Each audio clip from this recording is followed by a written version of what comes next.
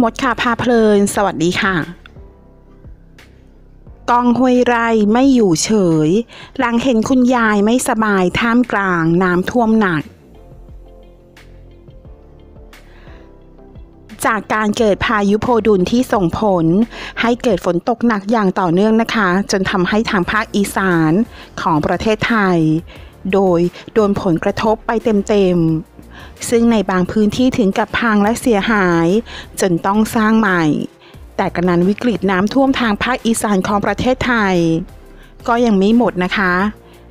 แม้ว่าจะมีข่าวว่าโพดุลได้อ่อนกำลังลงเป็นดีเปรสชันและได้จากประเทศไทยไปแล้วก็ตามแต่เหมือนว่าหนีเสือปะจระเข้นะคะ เพราะว่าพายุ ลูกเก่า ผ่านไป ทิ้งไว้คือน้ำท่วม แต่ว่ากรมอุตุได้ประกาศเตือนภัยลักษณะอากาศว่ามีพายุระดับ2 depression คาชิกิ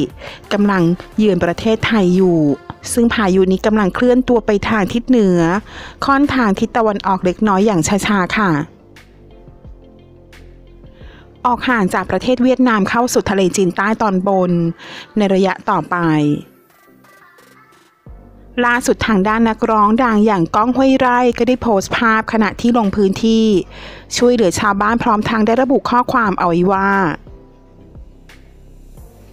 นำคุณยายไม่สบายลุยน้ำสูงกว่า 80 เซนติเมตรระยะทางกว่า 2 กิโลเมตร ส่งโรงพยาบาล อาจสามารถ Hashtag รถเล็ก หรือว่ารถเร่งด่วนฉุกเฉินห้ามผ่านทางนี้นะครับ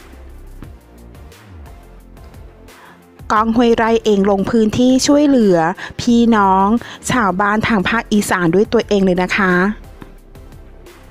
ขอขอบคุณข้อมูลจากสำนักข่าวสยามวาไรตี้ค่ะ ถ้าเพื่อนๆชอบคลิปนี้